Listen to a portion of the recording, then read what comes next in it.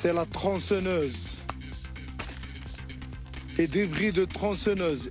Trees hundreds of years old cut down with a chainsaw. It's been happening in the Atlas Mountains of Morocco. Precious Atlas cedars, highly prized by illegal loggers because of the high prices they fetch on the international market. Our observer Ahmed Hamid, a science and ecology teacher, has seen lots of videos like this one. An Atlas cedar can live for 800 years, even a thousand.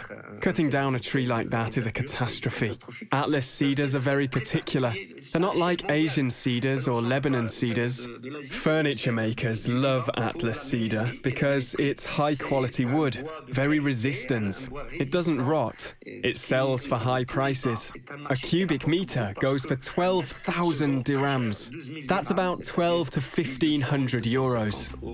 The loggers are well equipped. They have chainsaws and vehicles that are faster than anything the Forest Service can use to chase them.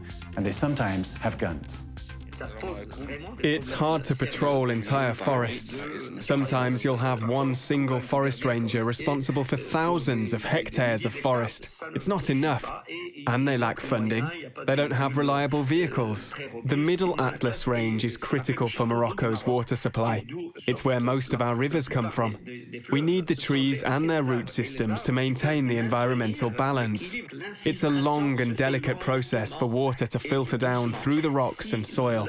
If the cedars disappear, that will disrupt the water supply. The Atlas cedars are suffering. It's not just the loggers, there's also a drought linked to climate change. They've been on the list of endangered species since 2013.